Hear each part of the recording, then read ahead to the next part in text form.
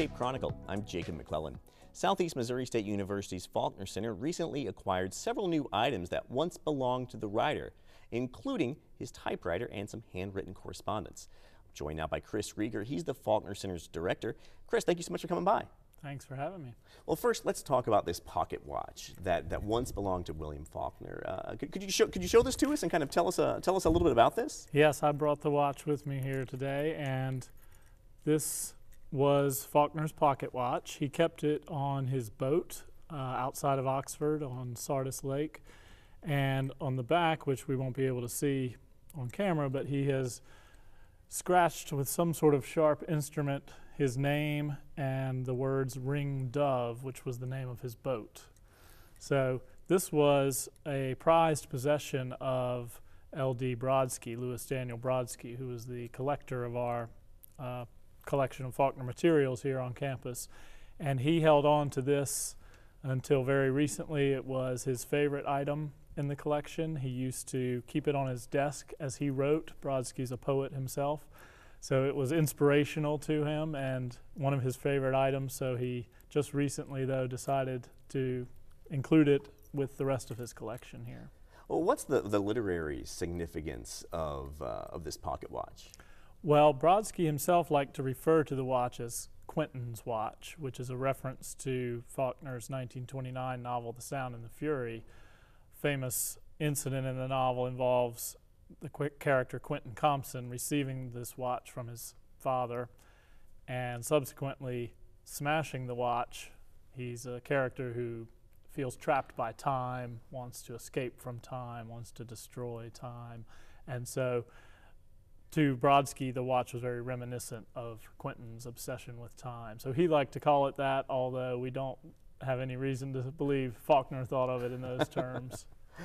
Tell us a, a, little bit about some of these these other items that have come into uh, the possession of the of the Faulkner Center, including a, a, a, typewriter. What type of a what type of a typewriter is this, and is this one that, that Faulkner actually wrote on? It is. It was not Faulkner's personal typewriter, but we, at the same time we acquired the watch, uh, we also have acquired this typewriter that belonged to one of Faulkner's editors, a man named Saxe Commins. And Faulkner, when he would visit Saxe Commins in Princeton, New Jersey, would often use the typewriter. And we know that, for instance, that Faulkner typed quite a bit of his novel, A Fable, on this typewriter.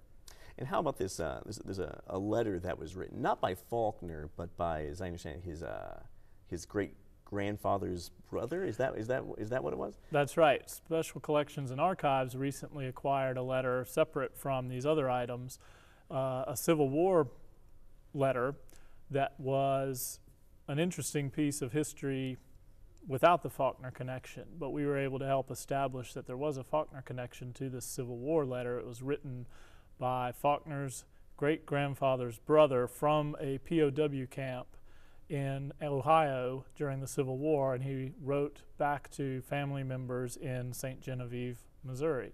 So it helps to establish a Faulkner connection to Missouri, which we always knew was there, but it, it helps to have some documentation of the family's time in St. Genevieve.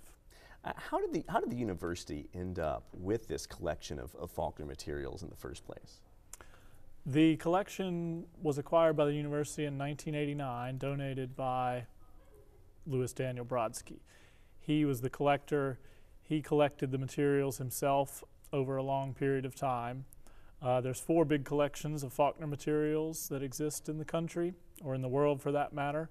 Uh, Ole Miss in Faulkner's hometown has one. University of Virginia, where Faulkner was artist in residence for a few years, has another. University of Texas has a third, and Southeast Missouri State has the other. All of the collections are strong in some areas, weak in others, so they're all equally comparable in terms of strengths. Um, Brodsky worked with Dr. Hamblin, the founding director of the Faulkner Center here at Southeast, for years cataloging what he had in his collection, and as a result of their partnership, uh, Brodsky eventually donated the collection to the university and next year will be the 25th year anniversary of the Center for Faulkner Studies. Now, who is Mr. Brodsky? Because he's a he's an artist in his in his own right. He is. He's a poet. He's published many volumes of poetry himself. He's a Missouri writer. as well as a book collector. Uh, he's from the St. Louis area, and he's been involved heavily with helping organize and curate the Faulkner collection uh, even after he has donated it to the university. Well, the, uh, the Faulkner Center in Southeast Missouri State University over the years have hosted a lot of uh, many Chinese and, and Japanese scholars who have, who have come to, to Southeast to, to study the Faulkner Center. Um, how, did, how did this relationship begin, and what's the, uh, what's the significance of an author like William Faulkner in a place like, uh, like, like, like China or, or Japan? Faulkner seems to be very popular in Japan and China these days. Uh, I think some of our Chinese scholars, and, and this semester, this year, we have five visiting Chinese scholars who study Faulkner with us and use our collection for research. They seem to find universal themes in Faulkner's work that resonate with Chinese readers, especially I think the rural urban divide speaks strongly to a lot of Chinese readers and scholars. The Japanese scholar program that we have here is sponsored by BioKyowa Corporation, Japanese company that has a plant here in Cape Girardeau, and they are generous to support us bringing over a visiting scholar once a year who stays for typically about two weeks and does research in our collections and presents a public lecture. He just finished his stay here for this year and we're look, we work with the Japanese Faulkner Society to bring one in each year. Well, we just have about a, a minute left or so, Chris, but um, are there any upcoming events or, or, or, anything like that coming up in the next year or so at the, uh, at the Faulkner Center? The biggest event we're planning for right now is our next biannual conference, which will be in October 23rd to 25th of 2014. We always pair Faulkner with another writer and this time we'll be pairing Faulkner and Zora Neale Hurston, who is an African American female author. So we feel that pairing these two authors together is going to be great for stimulating a lot of interesting presentations and conversations among scholars. We typically get scholars from all over the country and four or five foreign countries for each conference. We've been talking today with Chris Rieger. He's the director of the Faulkner Center at Southeast Missouri State University. Chris, thank you so much for talking with us. You're welcome. And thank you for joining us today on Cape Chronicle. The show is a collaboration between the, the, Department of Mass Media at Southeast Missouri State University, the City of Cape Girardeau, and KRCU, the public radio station for Southeast Missouri. Our executive producer is Jim Dufek. I'm Jacob McCleland. Thanks for watching.